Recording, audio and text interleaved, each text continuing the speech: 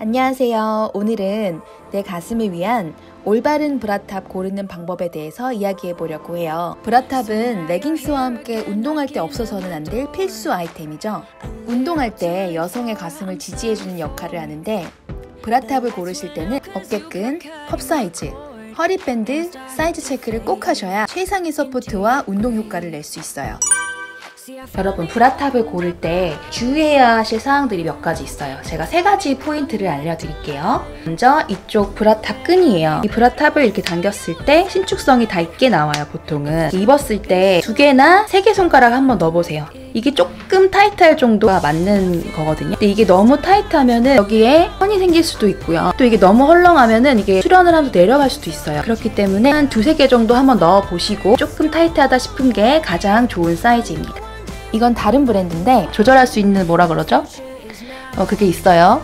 그래서 여기가 너무 압박이 된다 싶으면 이 끈이 있기 때문에 조금 더 조절을 할 수 있는 이 어깨끈 자체가 끈으로 되어 있지 않고 조금 더 두께가 있잖아요. 이러면 일단 어깨가 편할 수밖에 없어요. 진짜 편해요. 밴드로 된 제품들은 끈보다 압박되는 부위가 분산되기 때문에 끈보다 좀 루즈해도 괜찮은 것 같아요. 전 밴드가 너무 편해서 최근에 밴드 브라끈에 손이 더 많이 가는 것 같아요.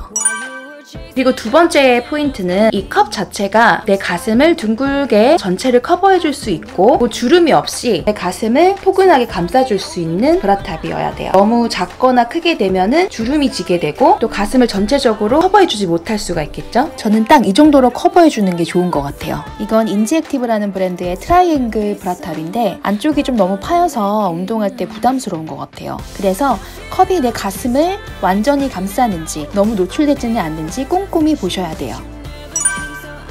세 번째는 아래 밑단에 있는 밴드를 보셔야 돼요. 아래에 있는 밴드가 보통은 이렇게 하나의 봉제선이 조금 더 덧대어져 있거든요. 여기 자체가 너무 압박이 심하게 되면은 운동하는 내내 너무 답답할 수가 있어요. 이 허리밴드 안에도 한 두세 개 정도 넣었을 때 너무 불편하지 않은 정도, 조금 타이트하다 싶은 정도가 나에게 맞는 허리밴드 사이즈라고 보시면 됩니다.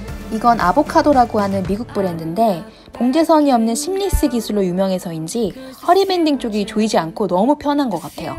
허리 자체가 통짜이신 분들이 이 부분이 불편할 수 있거든요. 그런 분들은 이런 seamless 강추드립니다. 세 가지 포인트에서 알아봤는데 먼저 어깨끈, 전체적인 가슴 커버할 수 있는 그러한 컵, 세 번째로는 아래 허리 밴드 보시면 됩니다.